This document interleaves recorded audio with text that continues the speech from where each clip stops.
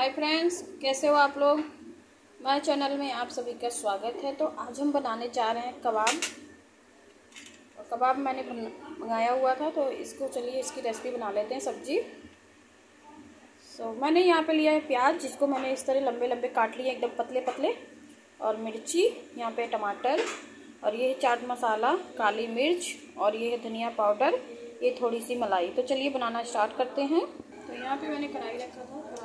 चुका है गरम। इसमें डाल रहे हैं एक टीस्पून घी।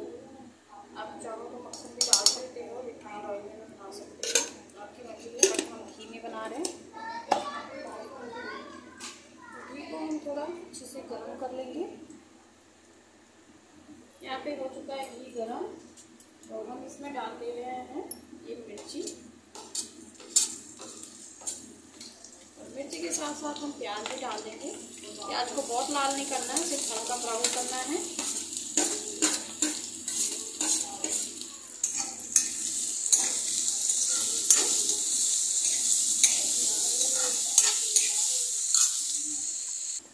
तो ये देखिए, प्याज हल्का हो चुका है। इसको ज़्यादा लाल नहीं करना, हल्का ब्राउन ही करना है। इसमें हम फिर डाल देंगे ये टमाटर।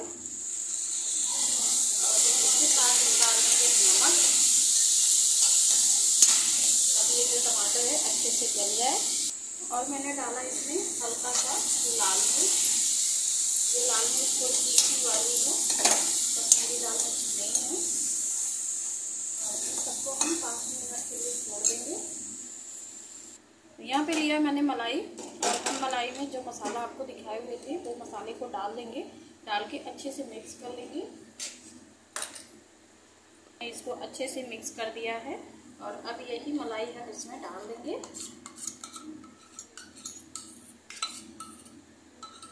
तो इसको अच्छे से चला लेना है।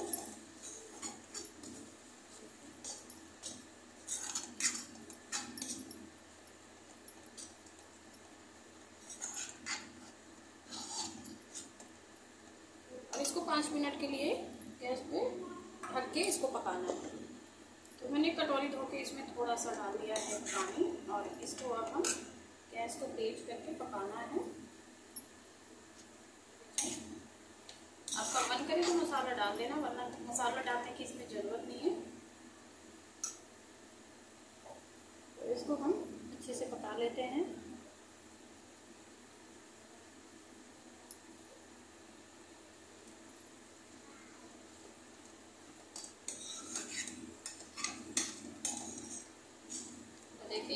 देखिए स्टार्ट हो गया है?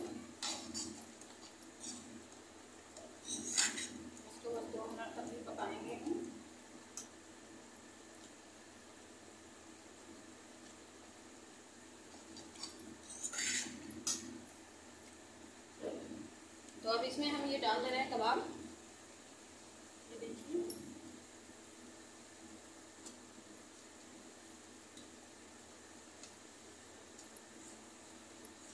मिक्स कर देंगे ताकि कबाब मतलब मसाला कबाब के अंदर घुस जाए और टेस्ट भी अच्छा है।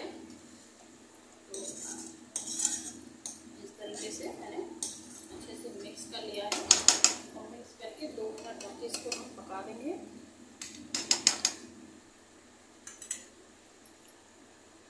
तो ये देखिए, मैंने इसको ढक दिया है दो मिनट के लिए। तो दो मिनट हो चुका था तो हम इसको खोल दिए हैं ये देखिए और खुशबू बहुत ही अच्छी आ रही है खाने में बहुत ही टेस्टी लगता है मैंने एक दो बार बनाया, फिर मैंने सोचा कि चलो आप लोग के भी साथ की रेसिपी शेयर किया जाए।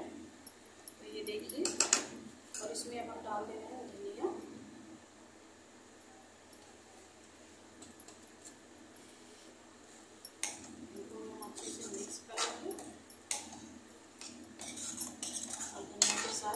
इसको